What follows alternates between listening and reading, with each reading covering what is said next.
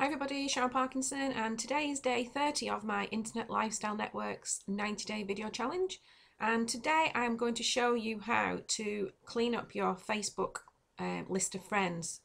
Now this can be done for a number of reasons. Maybe you're actually reaching your limit of 5,000 friends or you find you're not getting much engagement with these people because they're perhaps not the right people to be friends with or maybe when you first started you accepted everybody under the sun and you're more selective now. So obviously we need to go back and have a look at some of those reasons as, as to why or why you shouldn't should or shouldn't get rid of these people. Okay so I'm going to just take you through what you need to do. So you need to come to your main profile um, page and click on where it says activity log view activity log Okay, now if you was to go down this list and try and find people you've connected with from years and years ago, you'd, you'd probably be here all day. So I've got a quick some quick tips for you to uh, to get there a lot quicker. So if you come down on the left hand side, you'll see where it says uh, photos, likes and comments. Click more and find where it says friends. So there you go, you've got friends. And again, this is going to list a load of friends, but it would take you again a long time to get through this list and try and work out you know who these people are or what have you. So what you there is a quicker way which you, you can do by going into the mobile friendly um, version of this particular screen. And the way you do that is you come up to your top bar here and get rid of where it says www and put in M for mobile and then click return.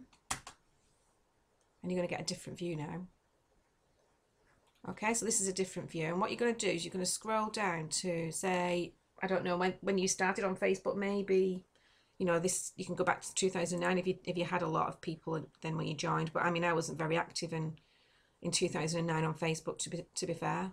So if you come back towards like maybe 2013 in my case, and what you're looking for is, what I'm first looking for is pictures of people and just to see whether I actually know these people. Um, so this one here, where it's got just a, I don't know what that is, is some kind of face. It's not a person's face. And I, that's one of my criteria now these days is when I accept friends, they must have a, a picture of themselves. So in this case, what you would do is come over here on the right hand side and then just click on friends. And there they go. How quick was that? So let's try and find somebody else who I don't know. Um, this person never really connected with, so let's get rid of him don't be worried about getting rid of people if you're you know not happy with what they've done. See like this one what is that? So let's get rid of that. And that one next to it which is a picture of looks like two uh, penguins from looks of it so get rid of that. And this way you're cleaning up obviously you're making sure that you've got people on your friends list who are actually real people. And it's not one of these secondary email um, facebook accounts where they're never actually there. Um, so if we scroll down a bit further